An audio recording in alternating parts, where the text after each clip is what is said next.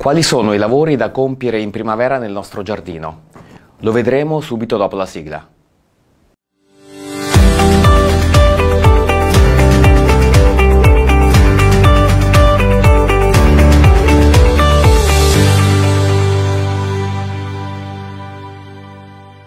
Abbiamo visto come la condizione necessaria per avere un giardino sano è quella di avere un terreno fertile. Un terreno cioè vivo, abitato da microflora e microfauna essenziali per il benessere e il metabolismo delle nostre piante. Dopo la realizzazione di un nuovo giardino, prevedo sempre nel piano di gestione un ciclo biennale di inoculi di funghi e batteri benefici per le piante. Dopo aver introdotto la vita nel nostro terreno, è però necessario sostentarla. Ecco quindi che in primavera la prima operazione da fare sarà quella di fornire il nostro terreno di sostanza organica. Nel nostro giardino, infatti, il ciclo di decomposizione della sostanza organica non è altrettanto efficace come in natura. È quindi necessario il nostro intervento per poter sostenere un ecosistema fertile.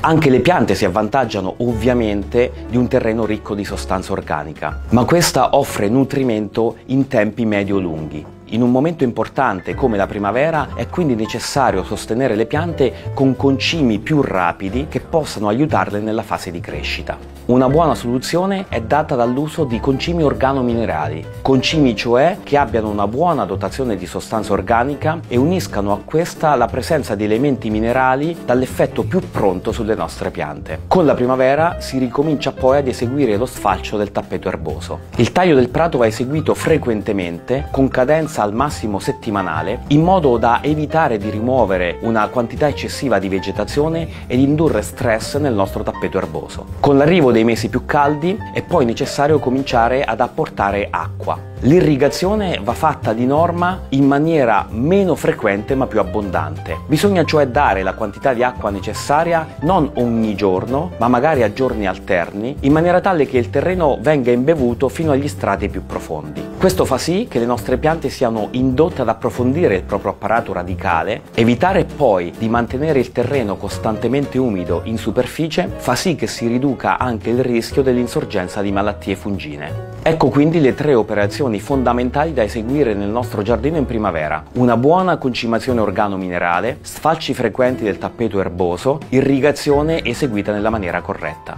Bastano quindi pochi semplici passi per avere un giardino in salute e piante rigogliose.